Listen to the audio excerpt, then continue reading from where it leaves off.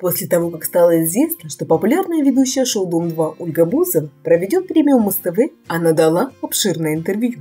Певица рассказала, что не приемлет никаких полумер. Так телеведущую назвали практически женой.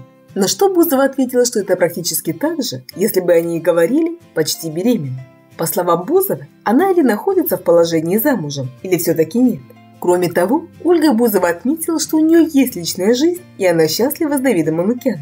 Но певица говорит, что умеет различать личное и творчество. Одним из главных факторов счастливого существования для звезды – гармония с самим собой. Бузова подчеркнула, что для нее любой выход на сцену, где бы она ни была, это огромное событие. Для нее не важно выступать на небольшой сцене в Мытищах или в столице. Также теледева сказала, что иногда бывает и такое, что может устроить концерты дома.